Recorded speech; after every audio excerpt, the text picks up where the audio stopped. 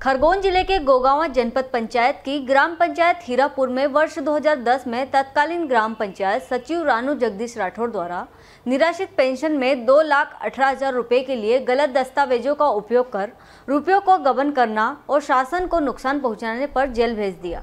ग्राम पंचायत सचिव रानू जगदीश राठौर द्वारा निराश्रित पेंशन के कुल दो लाख अठारह हज़ार रुपये गलत तरीके से गबन किया गया।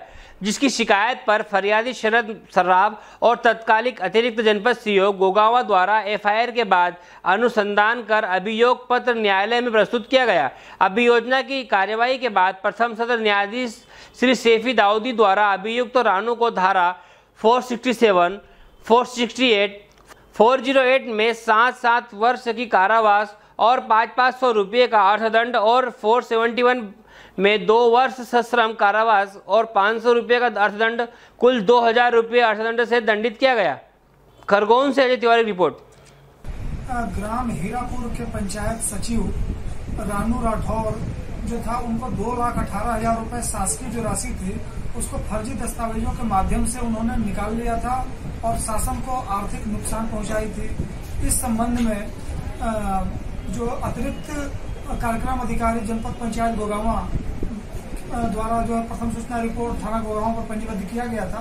घटना की जाँच पुलिस थाना गोगावा द्वारा की गई और अभियोग पत्र न्यायालय में प्रस्तुत किया गया। विचारण के दौरान हमारे अभियोजन ने अभियुक्त के विरुद्ध जो है अपराध प्रमाणित किया। तो माननीय प्रथम अपर सत्र न्यायालय खरगोन श्री सैफी दाऊदी साहब द्वारा आरोपी रानू को धारा चार सौ सड़सठ और चार सौ अड़सठ में सात सात वर्ष के सश्रम कारावास और पाँच पाँच सौ रुपये का दंड तथा धारा चार सौ आठ में पाँच वर्ष के सश्रम कारावास और पाँच सौ रुपये का दंड से दंडित किया था। अमरेंद्र कुमार तिवारी, सहायक जिला अभियंत्री खरगोन आप देख रहे हैं हमारा channel S W twenty four news हमारे सारे वीडियो सबसे पहले देखने के लिए आप हमारे चैनल को सब्सक्राइब करें और पास में लगे बेल आइकोन को दबाना बिल्कुल भी ना भूलें।